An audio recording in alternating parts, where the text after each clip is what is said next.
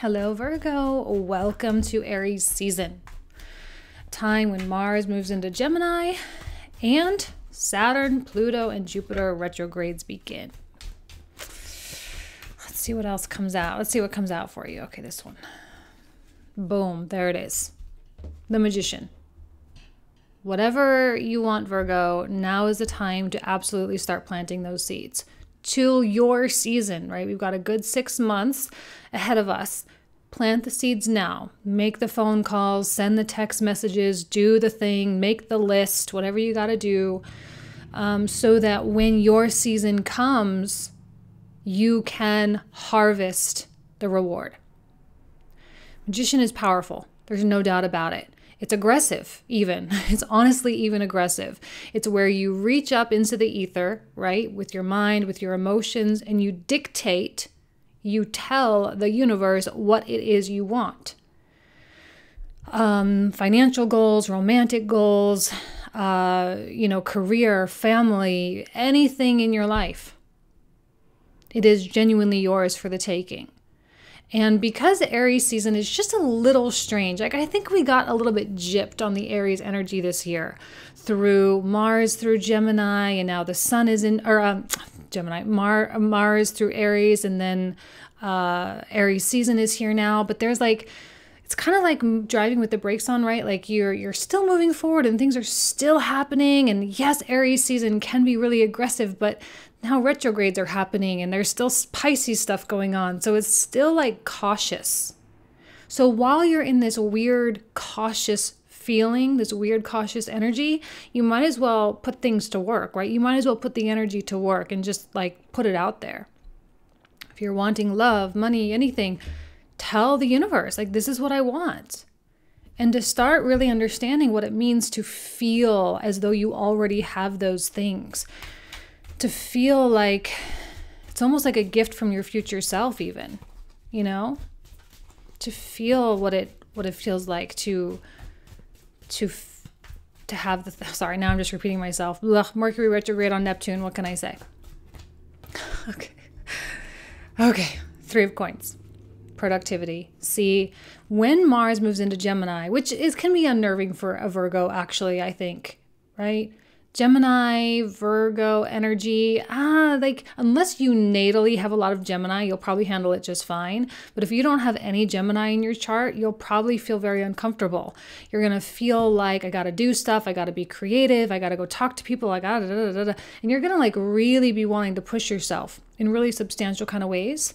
And the Three of Coins suggests now might be a time to explore, collaborate, talk to people, get new ideas, get different perspectives, counsel with someone if you need to. Like, you might as well do all the legwork. But um, see, even the magician is kind of like the preliminary stuff. It's not really the most active in terms of the physicality. It's active mentally, and emotionally, and it's active through meditation and working with the ether. But in terms of bringing it and channeling it into the real world, still we haven't quite quite crossed that bridge yet. We're getting there. We just haven't quite crossed that bridge. I think the past 3 months have been so critical because now we know what we really want. I suspect that the past few months there's been a lot of push pull. Do I want this? Do I want that? Do I want to be with this person? Do I not? Do I want to grow this business? Do I not? Like, do I invest? Do I not? What's the market doing? What's so and so doing? You know, there's just was so much that was dependent on other things. And now you finally whittled it down to what's really important to you. So, what is really important? What's really worth your time? And now you're like, okay, now I know what I want to manifest. Now I know what I want to put out there. Now I know what seeds I want to plant because I'm not going to plant 40 seeds and 10 to 40 different things if I can if I only need to do like 3 things. Let's not overwork here. Right? Let's work smart, not hard. Okay? Hmm. Are you taking on the Queen of Swords energy, Virgo? Very Libra-esque of you could be tapping into the decision making side of the Queen of Swords too. What do I do? And still, there's an analytical vibe, considering each side individually, considering each option individually, and determining whether or not something is for you. There may be a little bit of oscillation going back and forth, weighing the pros and the cons, especially when you have opinions from other people. Okay, what are they saying? Right? A lot of consideration. But ultimately, I don't see her as being hindered by her consideration. You know, like when she's reversed, we call it wishy washy, we call it indecisive, we call it unable to make a decision, maybe even like completely just can't do it, can't commit to one thing or the, the other. But she's she's upright. She's not like that. She's just discerning and discriminating. So she's to do her due diligence, but when it's time, she's to do it. And that's where the Hierophant comes in. such a beautiful energy for any reading because it's substance, it's power, right? It's Taurus. It has a lot to do with our true essence, our true sense of awareness, this awareness that we are an awareness, this awareness that we are a soul, that we have a much, much, much, much, much longer story. It's not just this one teeny tiny lifetime, right? It's many, many, many lifetimes, both forward, backwards, upwards, downwards, you know, however many multiverses we have layered on top of each other. Like there's so many lifetimes. So, given that, given that extremely high level perspective, does this one little decision really matter? You know, and some of you may have big things on the docket and other things not so much. But when you do it from the awareness of how big you actually are, how big your existence actually is, then easy peasy for a Queen of Swords. Just cut it off, right? Just cut it off, make the decision, send the email, say the words, whatever you got to do. See, it's eighth house season. I can't not make it big. I can't not make it deep. You know, it's it's just the nature of Aries season for you guys. And because you are naturally a hermit and eighth house so connected with Scorpio and it's Mars ruled and Aries is Mars ruled, like you guys are soldiers when it comes to depth. You are soldiers when it comes to looking within yourself. You're not avoidant in any way. You take the time, you take the energy, you take the effort and do that inner work just naturally, just by being a Virgo. It's like your birthright kind of thing. That's just what you do. So, after all these many years of doing the inner work, hopefully you've discovered what you actually are. Hopefully, you've discovered that powerful force within you, what it means to be a universe. How can you practically apply the idea that you are a universe? You know, how can you practically apply that? What does that mean for this little decision that's needing to be made? What does it mean for your future? There's no need for anxiety if you know what it means to be a universe.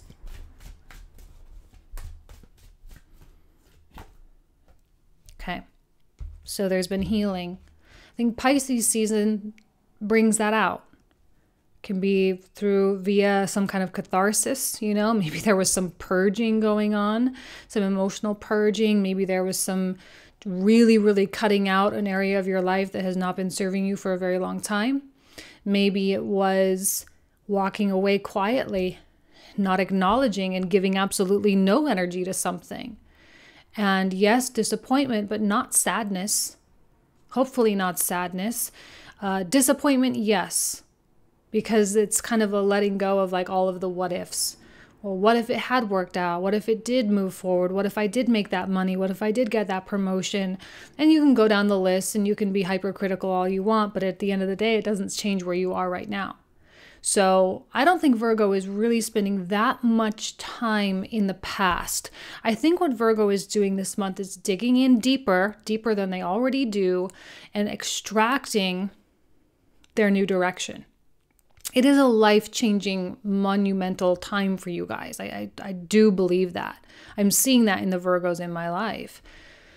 I think life is getting easier, and thereby, or and therefore, the decisions are getting easier because the stuff that you've been working on, okay, you've you've already seen the darkness within yourself, so couldn't get any worse than that, and it wasn't even really that bad you know, no matter what trauma you had as a child or whatever. It's just, it's, You're here now because of everything you went through. And I, I think that the Three of Swords reversed indicates a sense of gratitude for that because now it's weakening its hold on you, right? When it's upright, it can be still really painful, but when it's upside down, there's an acceptance factor.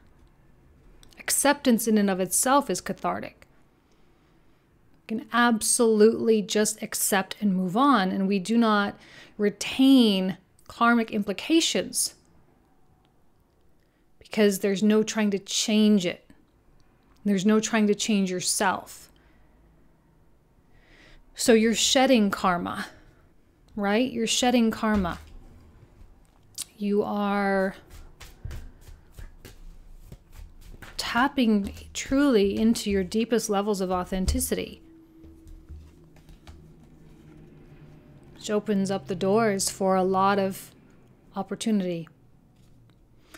Because when you are in a state of peace, when you are in a state of self love and self acceptance, um, and in a state of gratitude, therefore the state of abundance.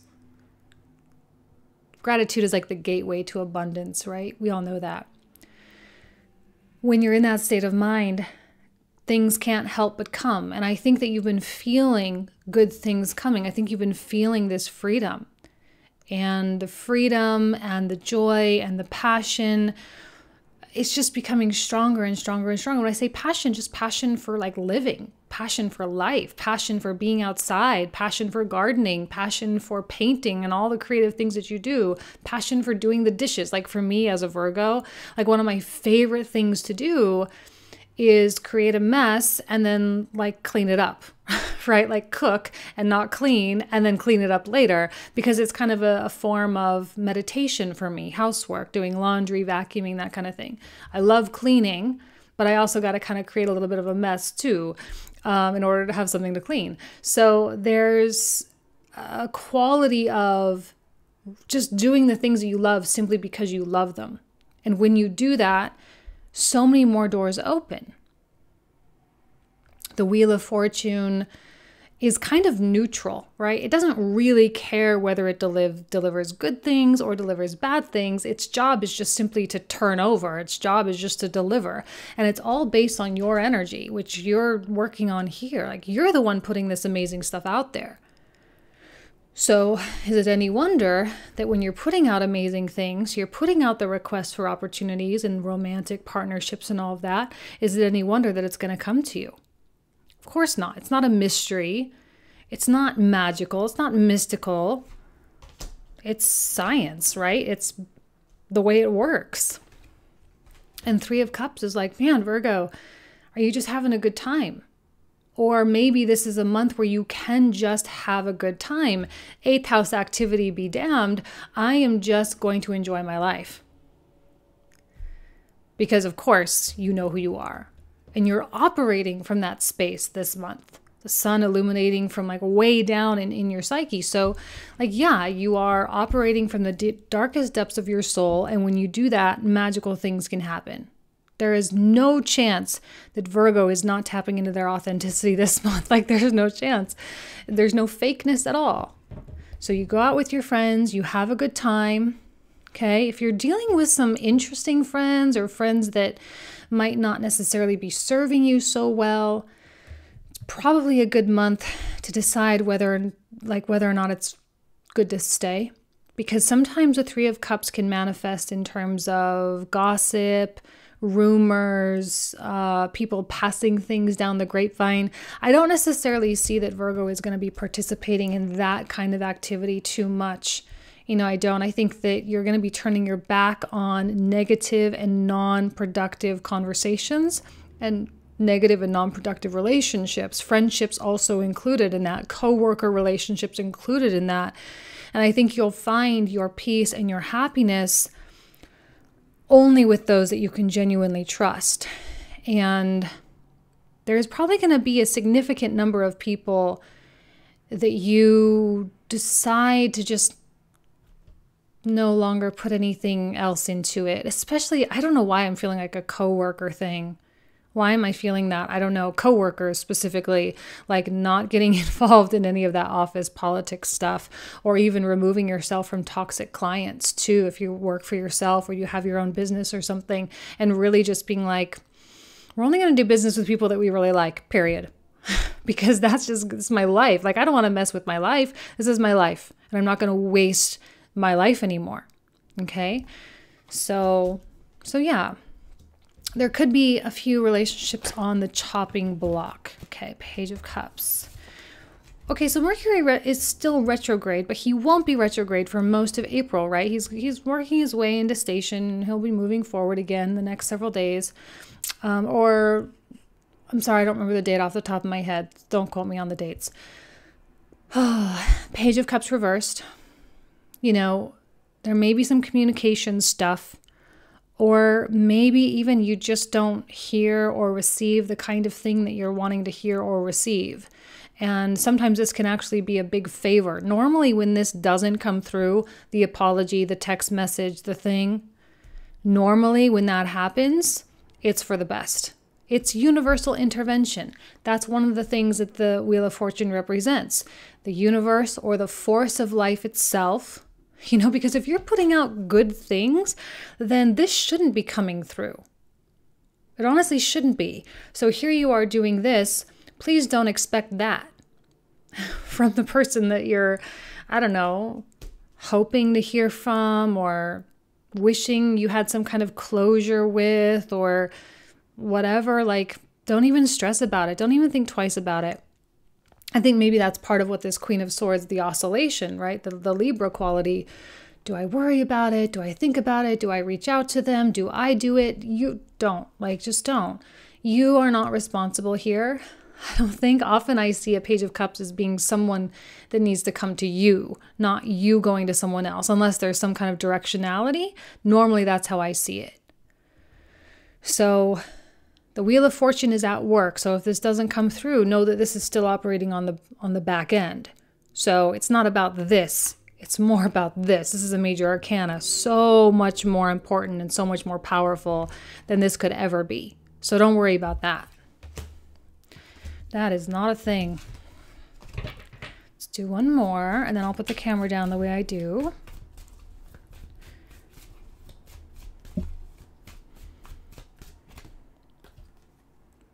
A lot of major arcana, four out of the nine.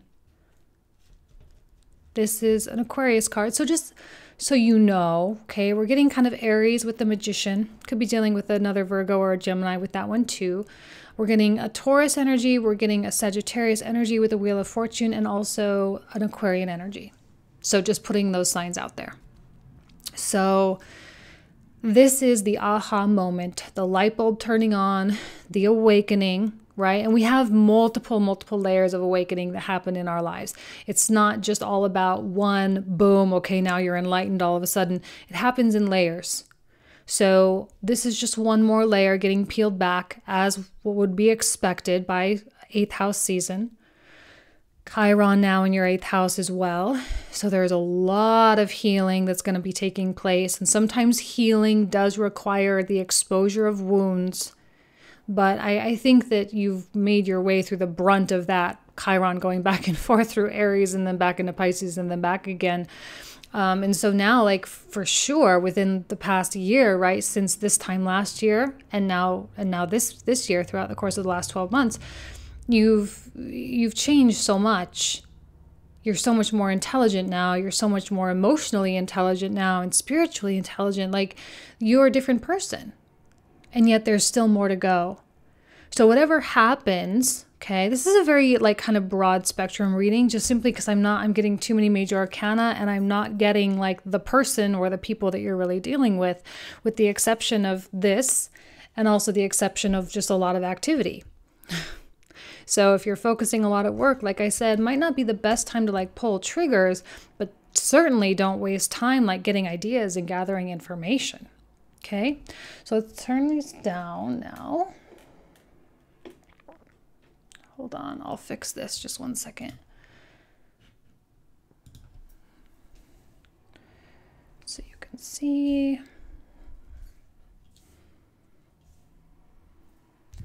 Let's pull out the two from this other deck.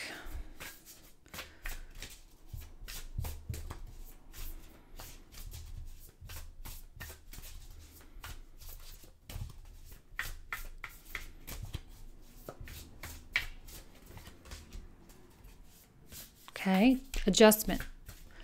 Oops, or justice rather. And the Three of Wands. See, these go so well together because this is about planting the seeds and this is about the patience that it takes. Goes well with the Wheel of Fortune as well because this is a card of prosperity. Okay, it's a card of honor and dignity, which was a big thing for Leo last month, um, but also you guys because you've got Leo in the 12th. So, dignity, maintaining your composure, of course, the Libra energy through balance. And also, just like being diplomatic. Maybe there is a situation that you do need to be a little bit diplomatic about. You know, maybe you do need to be forthright and honest, but also not be a jerk about it, too. And while you have your own stuff going on, your own work stuff, your own life stuff, you're still healing, you're still wor- you're still working through a lot of things. Well, then there's also the fun aspect of everything and then the friends aspect of everything. So it is multifaceted. Multiple areas of life coming online here for you and uh, requiring your attention. So it's dynamic. Okay? So let's focus on, okay, well, we're getting a card of temperance. I wasn't clarifying anything specific, so we'll just pull it out here. Actually, sorry, I forgot to do this. I got an astrology deck called the Blue Moon Astrology, and I've been pulling out one of these two just for fun because it's kind of a cool deck. So you can see it. Okay. Void of course, moon. Missing. Yeah, I love the, the terminology void of course. Because I think that's kind of where this season is is kind of taking us. Um, because nothing is really channeled in one specific direction.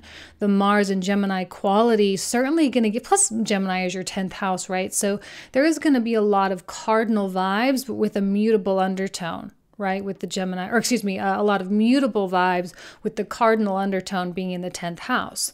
So it's like go, go, go, but also wait and see. And so here we are. Where is this all going? We don't quite know yet. So much change. I mean, it's been rapid change for the past couple years now. And now I think 2019, we're really feeling as though we're getting our hooks in the ground for real and we're about ready to start running, we're about ready to start sprinting in our life and in our and even if that's like sprinting in terms of just living a peaceful life. It doesn't mean you're going out and doing all this stuff. It just means allowing life to take you where it needs to go. And so now we've got our hooks in the ground, where we've got our grip and we're ready to push off at a moment's notice. We're just kind of waiting for the starter pistol. You know? And the more peaceful you can be, temperance, the more at peace, the more moderate you can be, the more alert you'll be to hear the starter's pistol. I mean, that's what I'll call the the reading, a starter's pistol. Because I think that's kind of what it is. Waiting for that gun to fire. Let's look at the magician now, yeah? Hmm. I do like the Capricorn energy for you, though, actually. Capricorn and Taurus, just giving you that grounding. What did I say? Hooks on the ground. And here he's got his talons there, right? It's kind of what, what you've got going on. Ready to jump at a moment's notice, but not in a rush to do so. Nice Cardinal Aries energy coming through for you. Beautiful. Six of coins. Let's look at the Queen of Swords now. Oh, okay. Well, Three of Swords coming out again. Hopefully, you're not viewing yourself as broken. You know, be careful of what the story that you feed yourself. No one's broken. No one is so psychologically traumatized that they can't, you know, really move away and they can't grow spiritually. There's always new levels. Always, always, always new levels. Okay, see, there's the caution coming through. Even the the page of coins, I'm like, yeah, there's a slow moving vibe coming through. Let's see what else.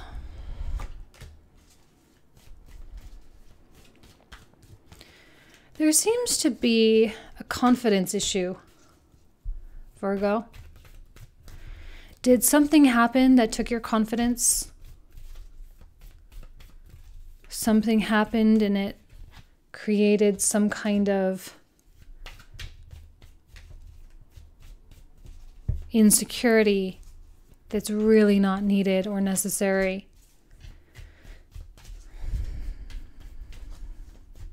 We'll talk about that. There's a lot more to that in the comprehensive. We'll go deeper. Are you fighting off the Wheel of Fortune a little bit? Are you fighting off the starter's pistol? Oh, there's the Queen again. Are you fighting off the starter's pistol, Virgo? Are you kind of dreading that moment when it's going to kick in? Maybe you're just really happy in this interesting space. Okay, wow, a lot coming through. I was clarifying the Three of Coins. All these came through. Two Knights. Sagittarius, Pisces energy. I do think Gemini, the Mars in Gemini transit, is going to be unnerving. And you're going to feel like you got to go, you got to go, you got to go. So a lot of Sagittarius energy coming out for for some of you. So you may be dealing with some one of the, like the, if I can talk. This is definitely a Mercury retrograde across Neptune. Blech. You may definitely be dealing with a Sagittarius. Okay, we're getting an Aquarius now. Three of coins reversed. See, I think that this particular social circle is counterproductive. Like, it's okay to go out and have fun and do all of that, but be sure that you are still like gathering. I'm getting like gathering. Make sure that you're still gathering information, you're still gathering stuff, knowledge, ideas, new perspectives. A king. You're dealing with a king who's afraid to show you that they're a king. That was a theme for someone else too. I think that was Leo. Okay, I'm not going to pull more. Let's do adjustment. Adjustment. Okay, Empress. Beautiful. Another card of Libra. I love this card for Virgo, though, actually, if I'm being honest. Because I she reminds me of Demeter, right? The goddess um, that's kind of your goddess.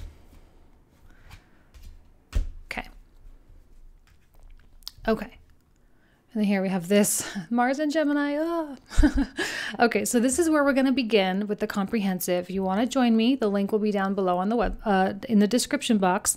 If not, then I will absolutely see you next month. Okay? Thank you so much, guys. Bye bye.